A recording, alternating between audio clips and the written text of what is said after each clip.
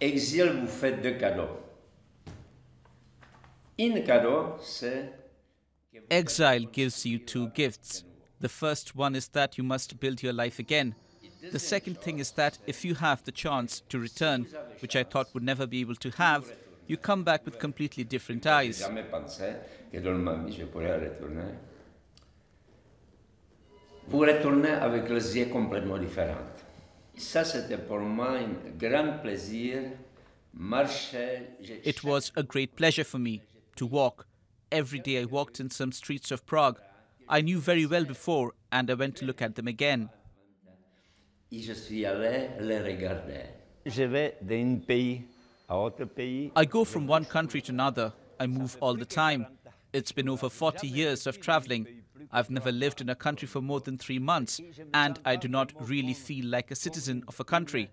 I'm not a Czech like all Czechs. I have a French passport and a Czech one, but I'm not like the other French. Euh, français et tchèque, mais je suis pas comme les Français.